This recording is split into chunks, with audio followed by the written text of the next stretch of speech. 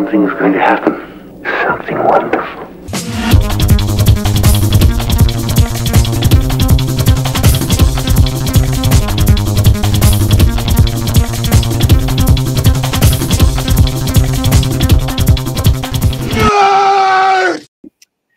G'day, fans, and welcome to another exciting Wednesday night stuck at home isolation central uh, to uh, talk nerdy to me as I speak. Clearly, people are stuck at home because they're signing in already. How good is that? Michelle is joining us. Absolutely fantastic.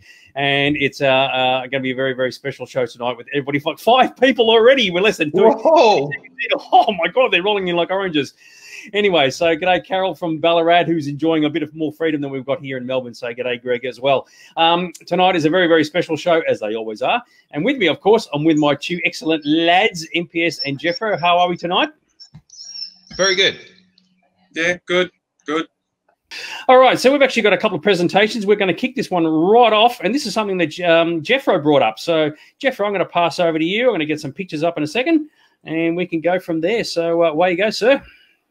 Yeah, certainly. So we were looking at um, uh, examples where there was a animated series, and then sort of uh, years down the track, uh, we suddenly saw some bright executive in Hollywood sort of say, "Well, let's do a uh, a movie and um, make it a live action movie." So uh, when you sort of think about it, you think, well, I can think of a few examples, but when you actually delve really deep into it, there's actually more than you uh, realize. So um, the first one we had was um, Alvin and the uh, Chipmunks. Now, uh, I remember watching this as a kid and absolutely loving it. So I mean, Alvin's been around since the uh, the 60s and all that. So uh, and here we sort of saw in the last uh, five years or so a uh, fact that uh, we now can do uh, the CG work that we do. Uh, Alvin um, um, mixing it up sort of in the uh, the live world. So uh, that um, you would almost think who would have ever thought that Alvin would still be relevant, considering it's like a 50 year old cartoon, but someone did. So Alvin the Chipmunks is our first one. Um, before I go any further, sorry, before I go any further, you are right, Michelle. Yes, we did actually lose uh, Kelly uh, Preston as well. Uh, so yes, it's been a double whammy for uh, celebrities uh, this week. So, but Grant is the one we, we were sort of a bit more, I guess, associated with the whole science fiction, um, pop culture um, genre, I guess. So, sorry, Jeffro, continue on. That's right. Uh, so the next one we have again is sort of um, delving back to those um, middle 50s. So uh, Casper the Friendly Ghost actually started off as a um, a comic in Harvey's Comics, and then sort of quickly progressed to uh, an animated series. And um, again, another one that I really loved. Who would have ever thought that they would have resurrected it?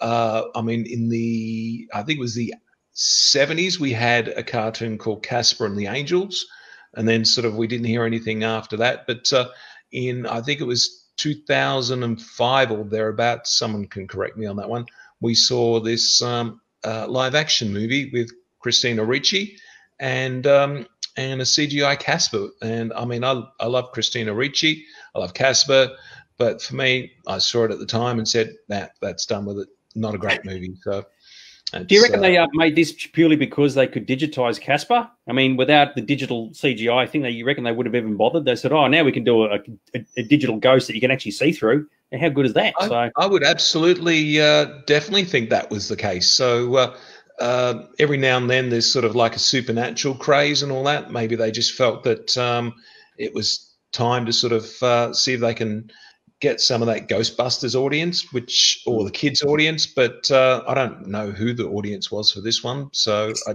I think it tanked. Cool. Now, uh, a lot of people may remember from the um, uh, the Rocky and Bullwinkle uh, stable. Uh, Dudley Do Right. So he actually appeared in a short little eight minute cartoon that was sort of uh, his segment, along with other things like Tom Slick and Super Chicken. So uh, here we were out of the blue in uh, 1999, suddenly seeing Brendan Fraser playing the live action version of um, Dudley Do Right. So I guess for a lot of us people that saw the original cartoon and we loved the uh, uh the the the humor, which was very uh, sort of um, uh, clever human, clever humor, I should say. That um, when we saw the movie, it didn't quite sort of have the same kind of humor, and it was like a very high bar that they needed to sort of get to. And unfortunately, for me at least, uh, it it didn't succeed. Flintstones, meet the Flintstones. They're a modern Stone Age family. So, of course, we all remember the 60s um, uh, cartoon. And as we know, Steven Spielberg decided to uh, give it a crack in 1994. I didn't mind it. And I think the reason why I liked it is because they cast it really well. And I did love the, uh, the, the CG work that they had in there. So, uh, uh, not everyone would like it. Uh, I guess for me, as I said, the the casting and just the personalities uh, really sort of brought to life were um, for me sort of something that meant I could watch that. And they obviously did well enough to make a, a sequel. So we saw Viva Rock Vegas. Uh, which was, I think, actually one of those few sequels that's better than the uh, the original. I, me at least, I like the uh, the sequel more so. So, what do you think about the fact that with the sequel, like none of the main cast returned, did they? It was all they had to recast everybody. Is that right? Yeah, that's pretty much the case. So, uh, I mean, the um, the actors that they got in the first one were really A-list actors, um, and you can see John Goodman, Rick Moranis uh, there. Uh, but I I thought, you know, even though it was like the B team that came in to do the, the sequel, they gave it their A game. So for that, um, I appreciated uh, what they did and I enjoyed it. Very cool. GI Joe. Well, not much I can say about GI Joe. Um, it it is what it is. Um, do you have anything MPS that you want to say about uh, GI Joe? Look, I, the the movies are because there's two, and I think there's a third one sort of coming. Um, yeah, this was a look. To be honest, I don't think the cartoon was that great either back when it kicked in the 80s because there was a bunch of these cartoons that came out uh, around the 80s, and this was one of them. Uh, yeah, I think the movies are a little bit better.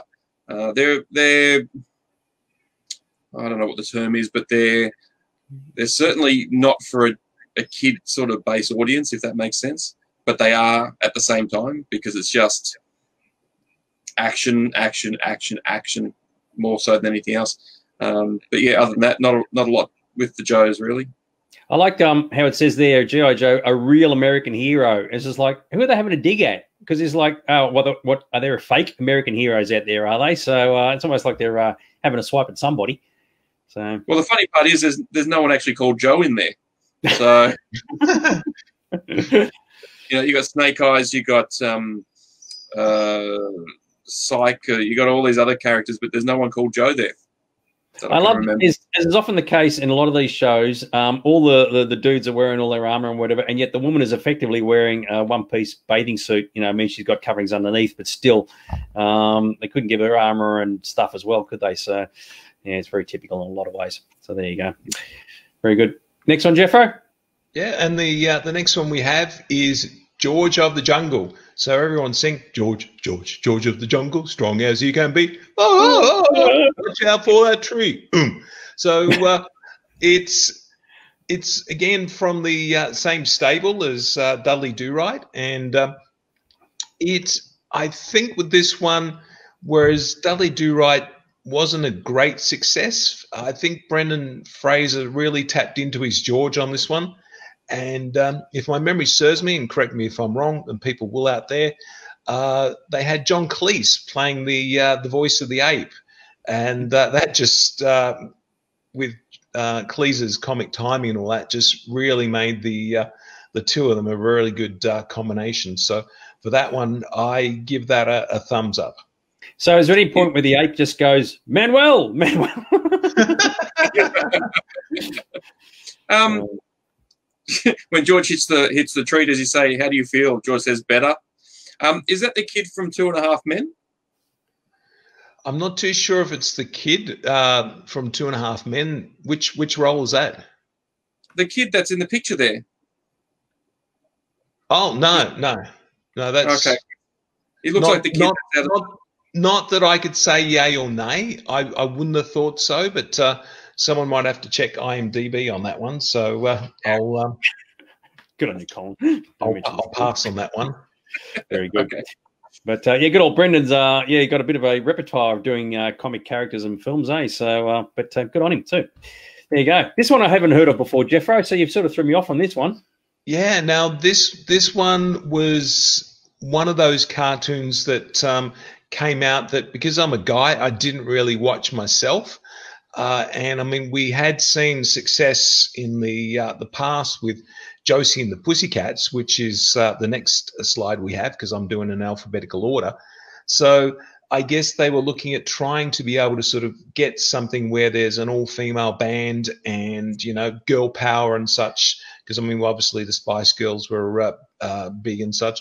So this was uh, also primarily a real marketing campaign to sort of flog toys, you know, Jem and the hologram toys, and and it's a bit like uh, GI Joe and um, He Man and such. There was a quite a considerable toy line, and uh, we did actually see uh, a live action version of uh, this one in 2015, and boy did it sink without a trace. It got uh, if if you ever get to check the Rotten Tomatoes. Um, uh, rating on this one, you'll find that it's really ground level that movie. So, um, yeah, it's like it wasn't a great cartoon, but it was even worse in a live action format. As I say, the only gem that I know of is the Jem'Hadar from Deep Space Nine. But uh, we move on, shall Well, we? in actual fact, in actual fact, if we can go back, please. Uh, in actual fact, Jem and the uh, um, holograms were up against Barbie and the Rockers. They Oh were, yeah, they were Barbie had a cartoon at that stage, and I don't know which one came first. They were up against each other on Saturday morning television. You basically had like Transformers, GI Joe, Barbie and the Rockers, Jem and the holograms, and then you went back to you know other sort of shows. But they were up against each other back in the eighties. Huh, Golly, and there's no Barbie live action movie, is there? give it time. Uh, Yeah. I did hear something in the works. Yeah, very good. And, and now, of course, we've got uh, Josie and the Pussycats. So, um, uh, big one from the Hanna Barbera staple from the uh, uh, the '60s. Um really enjoyed it, and I think the good thing about um, the cartoon is that they had uh, uh, a good supporting cast of um, other characters other than the band itself. And here we are in sort of uh, 2001 uh, doing a, a live action um, remake. Uh, again, like the Jem movie, uh, did not uh, succeed at all. I think the fans didn't like the fact that you know all the other great supporting characters uh, like Sebastian and the cat and all that weren't there. It was just primarily the uh, uh, the actors and yeah, it just it just it felt like a cash in. It was a cash in, and nobody likes a cheap cash in. Um, yeah, uh, Angus T. Jones was the name of the uh, the, the, the dude. you're Yeah, okay, that was that was the kid from Two and a Half Men. Um, I would have loved to have seen this do really well because I would have loved to have seen the sequel, Josie and the Pussycats in Outer Space. Yeah, exactly Yeah. That would have been awesome. That would have been an awesome film. Um, I like the fact that in the live action movie, the girls never wore the outfits in the cartoon that we're seeing here, the leopard spin. They just didn't wear that at all, if I recall. So, uh, and I actually saw Josie and the Pussycats, and I actually thought it was quite a good film. Uh, and I like the idea, and I think we've discussed this on the show before, how, and it's actually a little bit real life, how um, music band producers uh, can like artificially create a band, and if they get if the band gets too big for their boots, which is what happens at the start of the film, they just sort of push them away somewhere, and then just recreate a brand new band to replace them, and then the cycle repeats itself. And of course, the ego of the band thinks, "Oh, we're great and fantastic and wonderful," not realizing that it's the producers, the music producers, who actually make them as famous as they are. So there's definitely a message in that for everybody. But uh, yeah, I got to admit, I didn't mind Josie and the Pussycats. There's a great scene in the film, though, if you remember this. They're on the stage. Josie's on the stage with the band. There's a huge concert, and the guy she likes is in the in the crowd somewhere, and they're yelling out to each other, "Oh, I love you! It's all fantastic! It's wonderful!" And of course, in real life, when they're then when there's a ten thousand billion people there, there's no way in the world they'd be able to hear each other. But in the movie, they do, and it's like, oh, this is suspension of reality for you. So, uh, yeah, he's calling out from the crowd, and she's hearing everything he's saying. He's like, yeah, I don't think so. So, uh, there you go. And yes, you're right, Daniel. There's some good uh, music in it as well. So there you go. Uh, there is a Barbie movie coming out. Well, I'm not surprised by that at all. So there you go. Keep your eyes open for that. Oh, here we go. Here's a good one. Here's a good one for uh, Pete. I'll let you have this one. Oh, I don't because I look, I love the TV series. Um, the movie has some good elements in it. I'm not the biggest fan. Dag's actually more of a fan of this one. Um, but yeah, uh, I, have got a comment which I'll make later on about those and a few bit, other bits and pieces. The only problem I had with this mostly was the fact that the costumes weren't the same. I didn't care the fact that he didn't. Um, uh, he didn't transform either. That bugged me to the to the most point because he's meant to transform. You know, mm. I didn't mind the fact it was set on Earth. You know, that was nice. You know, Courteney Cox and and um, uh, she she played a role and and um, uh, what's his name? Who was Dolph who Lundgren. was no, not Dolph Lundgren. He was oh boy, he was terrible. Um, he's going to be stiffer than Ken in the Barbie film. Um, Frank Langella. Frank Langella was brilliant. Yeah, Frank Langella. Yes, who played um, Maddie. You could have just asked yeah. me. I would have told you who played Skeletor. Jeez, guys. no, no. What's the thing with Skeletor? I was thinking of the uh, what's his name that's sitting in the front there. That's on Voyager. Oh yeah, um, yeah, him. Um, Robbie. Yeah, thanks. And Robert Duncan McNeill. Yeah, who's gone on to far bigger and better things, and and you know the four main actors in the film actually have done big stuff since then. You know, so uh, but yeah, not not close enough to uh, the cartoon in many respects for me. It's one of those things where the film may have done better if the cartoon never existed, because you are right, MPS. There was a lot of comparison between the film and the cartoon series, and the fact they like kept He Man looking the way he's meant to. We are uh, admittedly Dolph couldn't act to save his life, but with Skeletor, they completely changed his design for whatever reason, and I guess that would have upset a lot of the fans, no matter what, because it's like, hang on, that's not how Skeletor's meant to be. But I, it worked for me because I really liked the way Skeletor was portrayed, uh, the way the environment was portrayed. Uh, the fact that they brought it to Earth was great. It's very funny. Like Skeletor's forces arrive with 10,000 bad dudes in this country town and not a single person sees them. I mean, that's just, just fantastic. Obviously, the whole town was in self isolation at that point because no one was out of their houses at all, no cars, nothing. So I thought that was actually quite funny. Um, but I actually uh, found it quite enjoyable. And I really like Skeletor's relationship with Evil-Lyn. That just sort of worked for me. So I have no idea. I've never seen the cartoon, but the film uh, did push my buttons. So uh, there you go. And Ange agrees with me. So there you go. Very, very cool. Uh, yeah, Tom Paris character on board. So, so there you go. The way that they could relate it back to coming to Earth was, in fact, in the cartoon, He-Man's mother is Earth, is an Earthling. Um, yep. She flies off from Earth. She's an astronaut. She gets caught in a, a black hole and gets sent over to you know to where Eternia is. Um, the costume's not a big deal, but the fact that the sword wasn't pronounced enough and should have had the design, and the fact that he uses a gun, you know, two of the things that didn't happen in the cartoon. So, and they've been trying to make a, a remake of this film for the last 15 years, and it's just it comes and goes every couple of years, and I I don't know if it's going to be any good, to be honest with you. Yeah. Oh, plus the other thing too is they're going to cast He Man. I mean, the options would have been pretty limited at the time because you need a big guy to do it. And I guess Dolph was the closest they could get, and it is what it is. But if you look at the end credits, he had a dialogue coach, he had an acting coach, yeah. he had coach just said everything. But anyway, we move on. So uh, there you go. So it didn't rate well for MPS, but it rated well for me. So and and as, and as well, which is kind of cool. All right.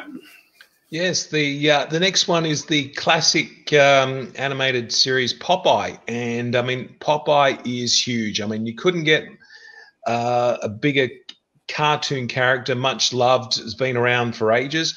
But in, um, I think it was 1980, I could be wrong. Uh, yeah, 1980, uh, they decided to give Robin Williams a crack at playing Popeye. And I, um, I thought he was really good. He does a fantastic impersonation as uh, of Popeye. I mean, he's got the charisma and all that. But you know, one man cannot hold a movie, and I think most people just thought, why the heck are they making this movie? Who wants to see a Popeye movie? And eventually everyone said, well, we don't. And it really sunk without a trace. So, I mean, it's great as a tour de force for Robin Williams fans, but as a, as a movie itself, uh, I just don't think it was the right time and the right place. And it sort of got the Howard the Duck treatment. Mm. It's very funny. I just remember one of the lines. I, I mean, I saw it in the cinema and I didn't think it was very good, but I just remember the one line when he gets introduced to olive oil and he just mutters under his breath, you know, it sounds like lubricant. I always thought that was actually quite funny. Um, uh, MPS is one for you. You can have a bit of a fight with Ange over this one. Uh, apparently, yeah. uses a gun in the cartoon, so yeah. I, I'm Whatever. not sure. I, I I don't remember. I don't recall him using a gun. But anyway, we'll continue on. We will indeed. That's a discussion for another day. So there you go. All right. Next one again from that uh, that stable, uh, Dudley Do Right and uh, George of the Jungle and all that is of course Rocky and Bullwinkle. So uh, uh, this one I really loved. I think that uh, again it comes down to the the casting. You've got um, George Alexander there playing Boris Badenov, Robert De Niro playing um, the evil leader. I mean, that was a freak out just to be able to see him actually playing that part. You would think, you know, how did they score him? And the um, the animation of the um, Rocky Bill, Bullwinkle was really seamless, and the, the the guy that did the voices is an Australian called Keith Scott, and he nails it. He he's really good, and uh, and it had all that humor that you would expect. Uh, to to see, and uh, it's a bit like Looney Tunes back in action when they did that. Uh, there's a lot of uh, in jokes and subversive jokes and all that. So this one I really liked. Cool.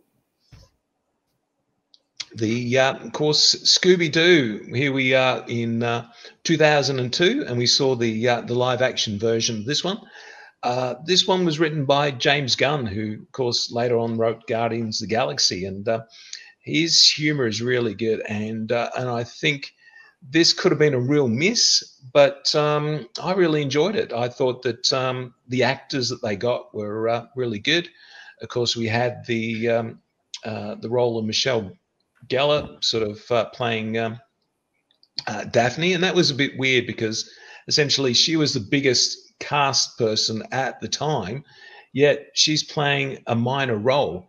So that was really weird. But uh, uh, and of course Matthew Lillard, who uh, you can see uh, there in the live action um, uh, Shaggy, he certainly uh, ran with that one because all the subsequent uh, cartoons that they did, he actually did the voice of Shaggy. So he's been doing Shaggy voices for about the next for the last fifteen years. So uh, he's done really well out of this one.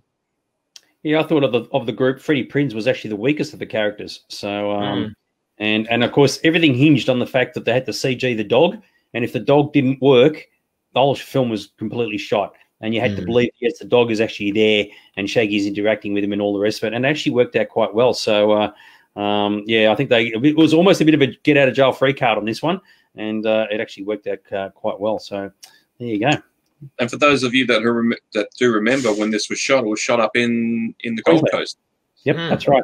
Yeah, and, And, actually, uh, Sarah Michelle was doing Buffy at the time, and she was flying between America and Australia because she was doing both at the same time. It's like I don't know how you, she would stayed awake, but uh, yeah, it was uh, pretty impressive stuff. But um, yeah, no, very good.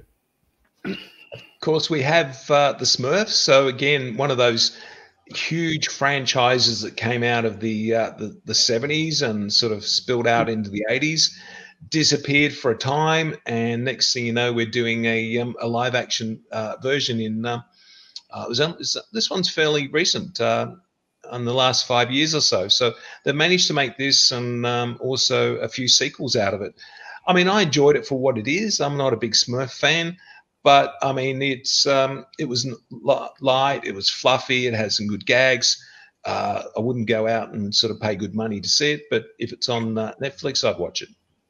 Very good. Oh yeah, Susie didn't like it, so there you go. So yeah, not everybody was a fan. So there you go. Speed Racer. Now, Speed Racer is uh, very close to my heart, so I'm a huge Speed Racer fan.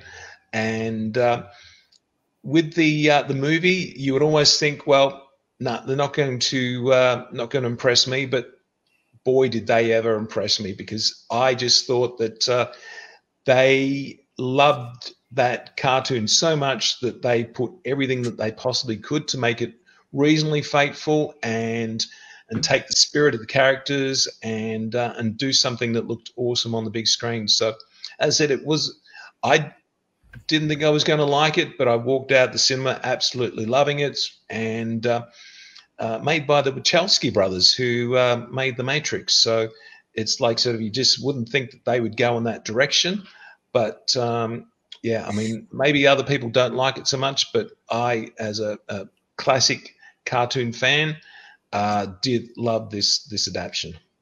There you go. And um, Ads agrees with you as well. So there you go. And yes, yes, Daniel, there were a lot of colours indeed. So there you go. Speaking of Yogi Bear, Susie, here's one for you. Hey, it's Yogi Bear. So uh, uh, again, sort of delving really deep into. I mean, Yogi Bear goes back to the uh, the fifties, one of the first Hanna Barbera um, characters. So, the, I mean, he's been around at least um, on and off over the uh, the decades. So they would bring him back in the seventies and eighties. Uh, in things like Laff-A-Lympics and all, uh, a lot of other different sort of Hanna Barbera um, spin-off type shows, and um, here we are seeing a, um, a bit like the way Scooby Doo and all those ones, where it's like it's an animated animal in a, a live action world. And I enjoyed the laughs. I um, I really enjoyed the um, just it was just like watching a live action cartoon, which is what you really hope for. And uh, I really enjoyed this one and um, rushed out to buy the uh, the Blu-ray when it came out. So uh, this one gave me uh, a lot of enjoyment and a big thumbs up. Very See, cool. for me, Yogi Bear doesn't look right. He looks too skinny. He does look skinny, I know, but um, yeah. I, Boo Boo looks I, fine, but Yogi just looked a little bit wrong. Mm. I, I, sort of look past that, but I yeah I can appreciate the fact that yeah he um, he, he did sort of look a bit uh, emancipated. Very cool. Now, MPS, I think you said you had a couple that you wanted to bring up. Is that right? Yeah, I do. Um, a couple that I I loved uh, as cartoons that didn't, and this is the problem I have with most of these films. They don't do justice to the source material. You know, so Inspector Gadget. You know, they did two live action films of that, and nowhere near as good as the cartoon series with um, uh, Adam, uh, not Adam. Don Adams. Don Adams, yes, thank you. Uh, doing the voice of, of, Inspector Gadget. That was far superior. Um, and I don't even think they had Penny in one of them. If I, I don't recall seeing the second one, but I think they changed the actors as well. I think Matthew Broderick did the first one, and then they brought the guy from Third Rock from the Sun. Um, That's right. Yeah. Uh, the other one, um, which was very disappointing, was was Gatchaman, which was the Battle of the Planets and uh, oh. live action. That came out in 2013, and the cartoon that's had many different versions from the 70s through to the to the early 2000s. Um, but this movie was actually quite disappointing. The costumes didn't look close enough. Uh, the characters weren't the same, and the storyline went in some sort of weird angle. Uh, so I again another one that didn't sort of follow the source material uh, in that respect. Um, one that I know that should have been awesome, but it just was too kiddie was Thunderbirds. You know, I know we're mm. talking animated, but Thunderbirds being the puppet series doesn't matter.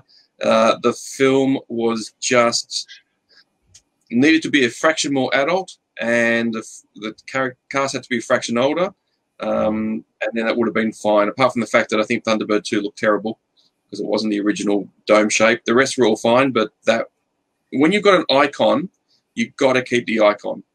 That way, it stays with something of, of the original. Once you start redesigning stuff like that, you lose the flavor of what what's there. Uh, the other one too, which should have been awesome, uh, but eventually did become better, was Transformers. Transformers has five different films, and then you've got Bumblebee, and Bumblebee I think is far better than the actual Transformers because it's not as convoluted in its in their transformation from vehicle to to robots. Uh, and the look, I know the cartoons were very simplistic, um, better than Machine Men, but you know, still simplistic in itself. Uh, but the movies are just too convoluted, and I think too um, war orientated. Uh, so, um, and two that I haven't seen, but I know they made into films. One was Garfield, the other one was Paddington Bear, and I love oh, Paddington I've Bear. I love Paddington Bear. Would always wanted one, but never got one. And Garfield, who doesn't love a cat that eats lasagna? Um, but you know, again, two other films that relied on on CGI for the animals. Yeah. So if you, I'd say, do yourself a favor, go see uh, the Paddington movies. They are charming and lovely, and um, I haven't heard anyone say a bad thing about them. So uh, do yourself a favor and see that. The Garfield one's not too bad as well. Um, I've enjoyed them. It's got Bill Murray doing the voice of Garfield, and uh, Yeah, hearing Bill Murray is just uh, is good enough for me. And um, that they're fun. Uh, he's he's done a couple of those, and um, not as good as Paddington. That one you definitely have to see. Fair enough. And that's my list. Very good. So I guess in the end, it does show that not all cartoons translate well to live action, but with the advent of CGI, it has certainly helped a lot, and it makes them a little, little bit more believable uh, when they're on screen. But uh, yes, you are correct, lads. It all still comes down to the storyline. Uh, and as to whether they can hold their weight, and uh, a few people have said that uh, yes, they did like Garfield uh, and Bumblebee, and yeah, how disappointing Thunderbirds was, and it was very disappointing uh, after the large build up. And um, there you go. And hello to Joe, who's in hospital at the moment. And uh, Tintin, actually, adds, I'll chuck in the Tintin one. Oh, Um, yeah. now, of course, Tintin wasn't live action as such. It was just a cartoon that was from a comic to a cartoon to a CG film. But as a CG film, uh, it was very well done. And I think that the fact that they did it CG and not live action actually worked for it. So, uh, Uh, I think there was a live action done in the 90s yeah. Mm. like that. Same as Asterix. Asterix also had the same thing. Um, uh, there was several animated and, and live action films.